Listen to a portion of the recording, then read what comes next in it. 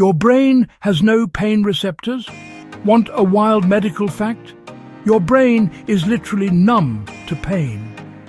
Here's the quick why. Pain receptors live in your skin, muscles and the outer covering of the brain, not in the brain tissue itself.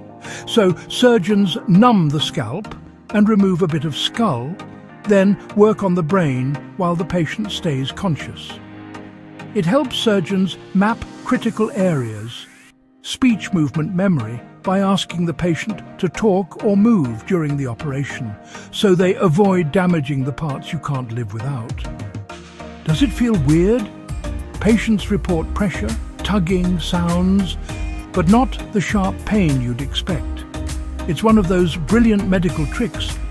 The brain can't feel pain, but your surrounding tissues certainly can. So anesthetics and skilled teams make it safe and precise.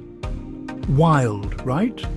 Like, comment and subscribe for more medical oddities.